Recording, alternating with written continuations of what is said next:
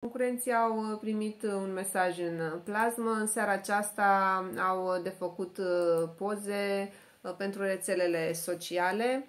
Uh, din câte am văzut, băieții au făcut ieri aceste poze, astăzi fac fetele și am înțeles că vor face și cei care sunt în cuplu. Am văzut că Liviu era și el îmbrăcat. Fetele au început, bineînțeles, să-și facă din nou probleme cu ce ne îmbrăcăm, cu ce ne încălțăm și au căutat ținute.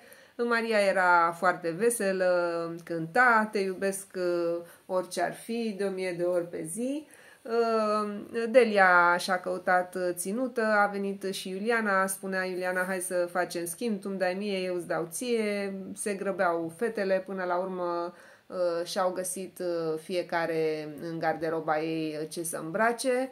Am văzut că și-a ales și Laura o ținută de la ea din dulap, o rochiță albă, iar Maria o rochiță mai colorată. Aici Laura o chema pe Maria să citească o scrisoare și îi spunea că ea crede că a citit-o Cristian cât timp a stat în casa fetelor, probabil a văzut că nu mai era în locul în care o lăsase, i-a dat scrisoarea și Mariei să o citească și spunea Laura, uite acum să mai zică Cristian că sunt eu influențată, că această scrisoare e dintr-o dată mai uh, recentă, spunea, spunea Laura.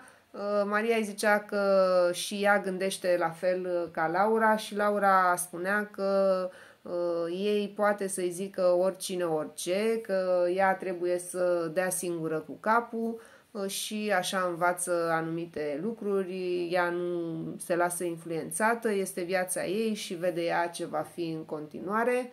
Uh, s-au pregătit fetele, am văzut că Delia și-a ales un sacou oversize și un pantalon, are și un top, uh, o fustă maro și un top uh, are Iuliana, Uh, Antonia și-a ales o rochiță gri, uh, Eliza este îmbrăcată în pantalon și are o maletă, o helancă, uh, Cristina este îmbrăcată cum a fost aseară îmbrăcată la petrecere, în pantalon scurt, iar Maria are o rochiță colorată, scurtă, mulată și sândăluțe colorate.